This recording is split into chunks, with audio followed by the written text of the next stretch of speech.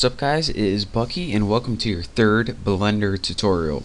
Now in this tutorial we're going to be creating objects, but uh, before we get started I gotta ask you guys something, because I gotta find out if I'm the only one who feels this way and if I'm just crazy, or if this is the way it actually is. But does it seem like every single person who eats sushi, they have one common goal and that's to get other people to eat sushi.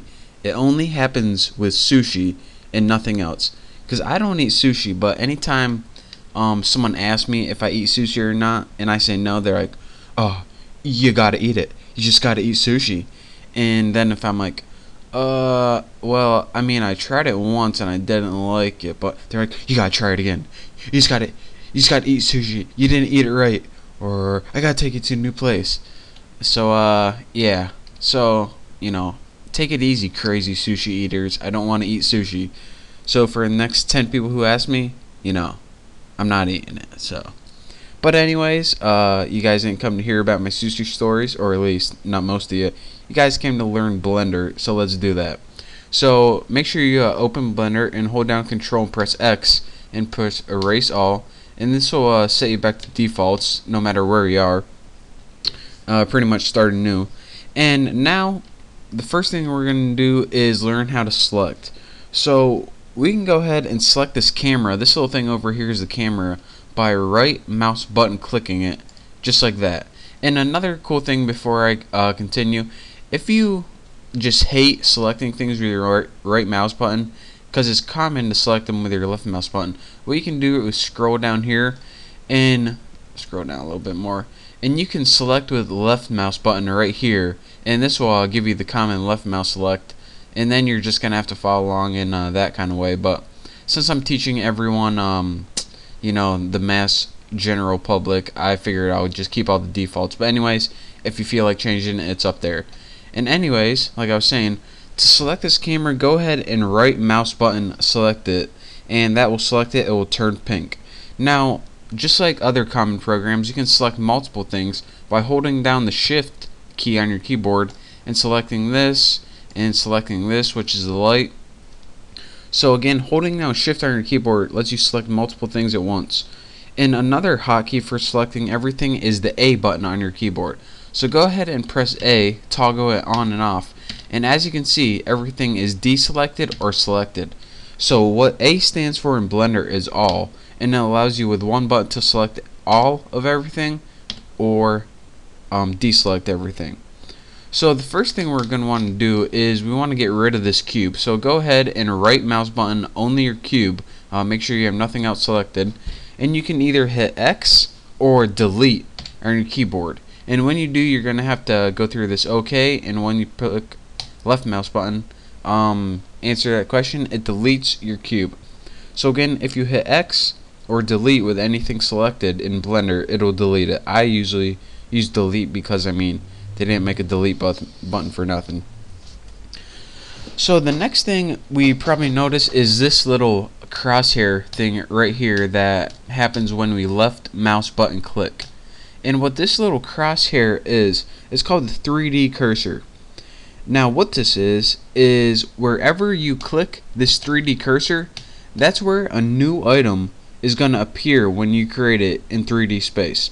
So if you want to move this around to create an item in a new location, left mouse button click that location. So I'm going to be creating one right in the middle, so I'm going to left mouse button click right in the middle. So to create an item, we finally get to create one. Here's what we do.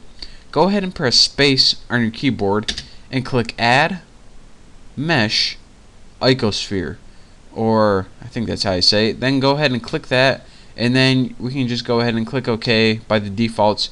And now we have a sphere created right in the middle. So say we want to create another object. What we'd have to do is click away click that 3D cursor somewhere else. Actually let's click it to the left. Press space add mesh and we'll add a cone this time. And go ahead and click OK. And we're looking at it from the top so that's why it looks weird right now. But again anytime um, you're like creating objects and you can you can't see that you created a new one, chances are your cursor is probably set on top of your other one.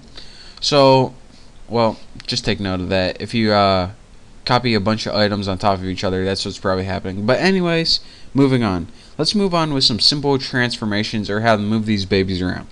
The first thing we're going to want to do is select our icosphere, or I'm just going to call it ball or something.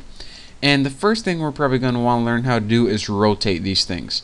So with the item selected, go ahead and press R on your keyboard, and what you can see is you have this little line that comes out of the sphere, and it starts rotating it.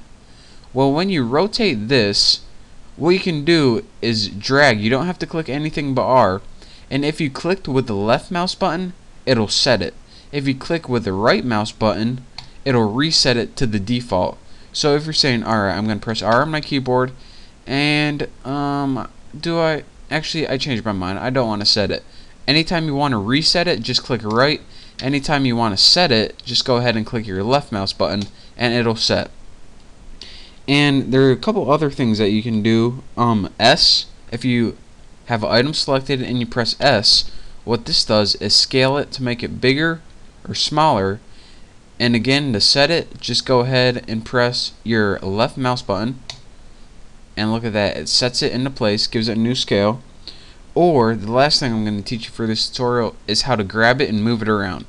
To grab it, go ahead and press G and now you can do the same you can just move it around and set it somewhere new like hmm looks pretty good right there but another thing I want to teach you with grab is go ahead and press G and now you can move it around freely but sometimes you only want to constrain it to certain axes since this red axis that goes left and right is the X and the one that goes up and down is the Y so if you only want to be uh, allowed to move it along the x-axis, go ahead and tap X on your keyboard.